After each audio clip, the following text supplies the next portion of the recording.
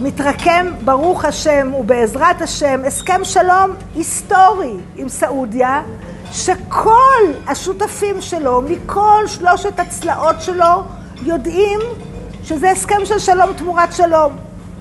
ואחרי כל זה יש עדיין לא מעט גורמים מהשמאל שמנסים לטפס טרמפ על ההסכם הזה ולגרום לו להיות איזושהי פלטפורמה לעוד ויתורים לרשות הפלסטינית. זה הרי שיגעון, זה הרי לא נורמלי. אומרים לכם כל שלושת השותפים להסכם, לא צריך, אין צורך, זה לא, לא במטבע הזאת משלמים בכלל, אבל בכל זאת לוחצים שיהיו ויתורים, בכל זאת. ואתם ראיתם, הייתם עכשיו בשמורה ההסכמית, וראיתם איך הרשות הפלסטינית מיטיבה, איך הרשות הפלסטינית מטיבה לירוק על ההסכם שהיא חתומה עליו, ולרמוס אותו ברגליים, ולגרוס אותו עד דק, ראיתם את זה.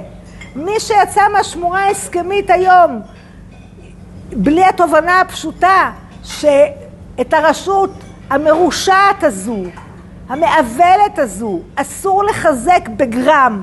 בגרם. כי היא לא יודעת לקבל משהו בלי מיד אחר כך לירוק, לירוק לך בפרצוף.